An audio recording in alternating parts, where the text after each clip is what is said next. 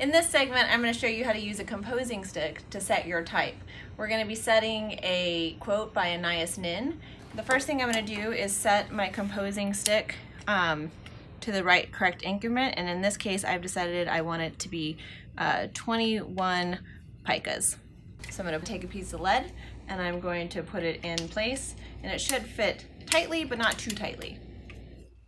And then um, I'm going to hold the composing stick with my left hand with my thumb in this place and I'm going to be working from left to right and upside down.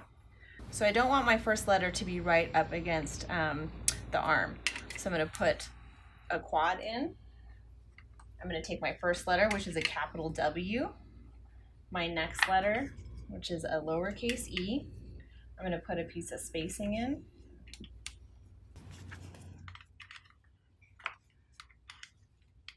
So I've gotten to the end of my line.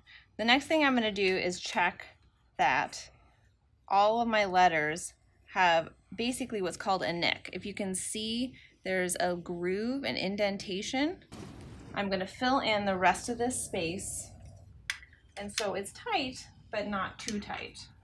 So now I've got one complete line. It's set nice and tight in there. The next thing I'm going to do is I'm going to take my 21 picas, leading again,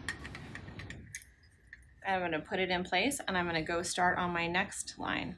Now because I want to have left justified, I'm going to take my 36 point quad. I'm going to start with that in place and then I'm going to start filling in with the rest of my letters.